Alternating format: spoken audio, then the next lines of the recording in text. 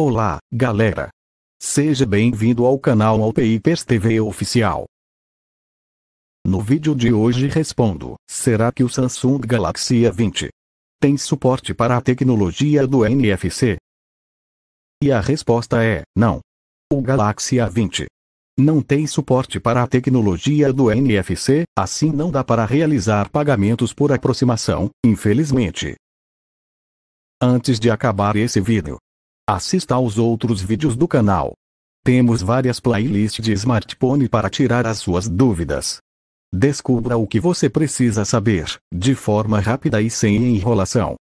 Temos playlist do Galaxy S20 FE, Galaxy A02, Xiaomi Poco F3, Moto G60, LG K22 e muito mais. Deixe o seu like aí por favor, e inscreva-se no canal, e até mais.